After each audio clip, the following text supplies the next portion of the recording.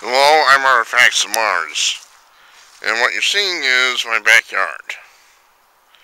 Today is 17 April 2018. It's very cold. It's February cold. And this is an ongoing thing. Springtime is nowhere to be seen. As I said in a prior video, what they'll do is they claim you'll see six or seven days in advance, it's supposed to warm up. Then we get there and it's still in the 30s and 40s. 40s if we're lucky. This is almost unprecedented. I've never seen anything like it. Yet these people continue to talk about global warming.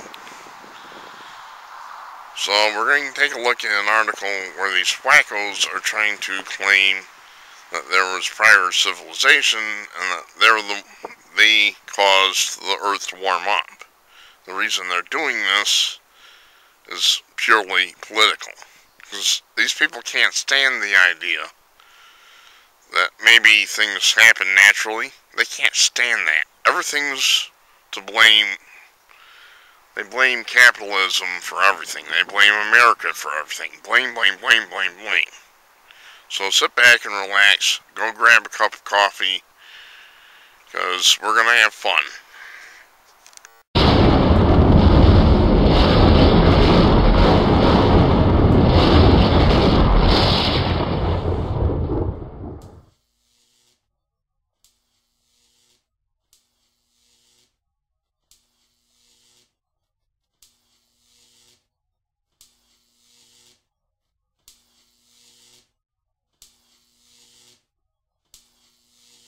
alive! It's alive!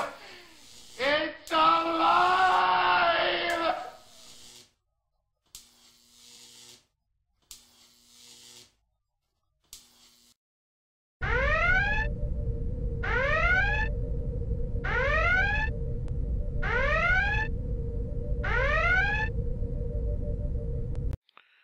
Well, I'm Artifacts of Mars, and scientists are finally coming around to the idea that there may have been another civilization on this planet, but the reason they're doing it uh, is for political purposes, not uh, scientific, as we'll see. Was there another civilization on Earth before humans? Scientists investigate. I can have a problem with my tongue, so bear with me. 56 million years ago, Earth warmed far above the temperatures we're experiencing today, and ice at the poles melted. Could the event the Paleocene Eocene thermal maximum be evidence of global warming caused by an extinct civilization which ruled Earth before mankind? Sounds like kind of crackpot conspiracy theory found on ancient an ancient alien UFO sites, but scientists have seriously investigated the idea. What they're uh, saying in essence is they're hoping to prove that there's another, another civilization so they can blame this warming on them. Professor Adam Frank of the University of Rochester, which is a hotbed of liberalism, writes in the Atlantic, which is a radical left-wing wacko site, that the investigation could offer insight into how to find alien life or about our impact on the planet. See, uh, I'm gonna break this down. These people don't like it. There's no record of an ancient civilization and that means this warming would have had to uh, occur naturally. You see, carbon dioxide levels, according to these idiots, stay at zero naturally because they're too stupid to understand that you have to have carbon dioxide for plant food. These people are too stupid to understand that.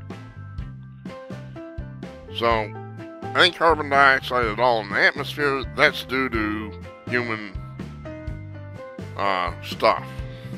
It's due to human activity. And it drives them crazy. Almost as crazy as Trump them. It drives them crazy to think that any changes on this planet could have happened naturally. Because to them, heat comes from carbon dioxide. They're too stupid to understand that heat comes from the sun. Believe me, they're too stupid to understand this. Frank writes there's a conundrum here if an early, earlier species industrial activity is short-lived, we might, might not be able to see it. Alright, Mr. Professor Wacko. Uh, then where did they go? What caused them to become extinct?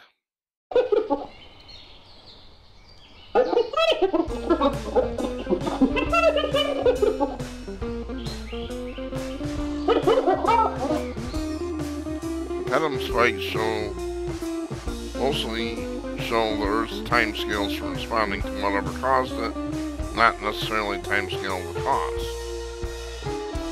So it might both dedicated and novel detection methods to find evidence of truly short-lived event in ancient sediments. In other words, you're not explicitly looking for it, you not, might not see it. Researchers thought about what our civilization might leave behind in rocks for future civilizations to find, plastics in the ocean, evidence of fertilizer use, and most of all, evidence of fossil fuel use. You see, uh, the advanced civilizations crowd, uh, us people who think that there's a civilization before ours, think that they were probably much more advanced. I'm talking the Atlantis type advancement. There's another aspect to this, too so these wackos are saying, by default, they're saying that if the civilization used windmills and uh, solar panels and that type of thing, then we wouldn't find them because that wouldn't affect the climate, don't you know? So, Professor Wacko says our Work also opened up the speculative possibility that plants might have fossil fuel-driven cycles of civilization building and collapse. civilization uses fossil fuels. Climate change they trigger can lead to a large decrease in ocean oxygen levels. Uh, no, Mr. Wacko, if you understand anything about uh, basic science, uh, CO2 would encourage plant growth, which in turn causes uh, more O2 to be put into the atmosphere, especially from the oceans, Mr. Wacko. That's where we get most of our oxygen from, Mr. Wacko. These low oxygen levels, called ocean anoxia, help trigger the conditions needed for making fossil fuels like oil and coal in the first place. In this way, a civilization's demise might sow seed for new civilizations in the future. Unbelievable. So they're hinting at this uh, hypothetical uh, civilization gave us our fossil fuels to use. Alright here's the uh, article in the Atlantic. I'm not going to go over it.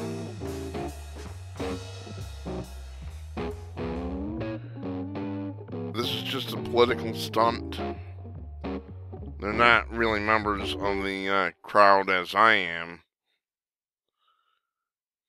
They're not members of the crowd who believe that there were prior civilizations and that they are very advanced. I kind of tend to believe that myself. I don't have a problem with it. I do have a problem when they're taking political advantage. Uh, that I do have an issue with. If we're going to uh, try to detect ancient civilizations, it should done, be done through real science and not seeing if they were uh, capitalists. That's really what this is saying. We think there was an ancient, may have been an ancient civilization, and they were capitalists, and they destroyed the planet before. That's what they're saying. No, Mr. Wacko, they didn't. These are natural cycles, but you people are too steeped in your idiocy to understand that natural cycles occur. You're too stupid to understand this. I'm Artifacts of Mars. Unbelievable. Thanks for watching.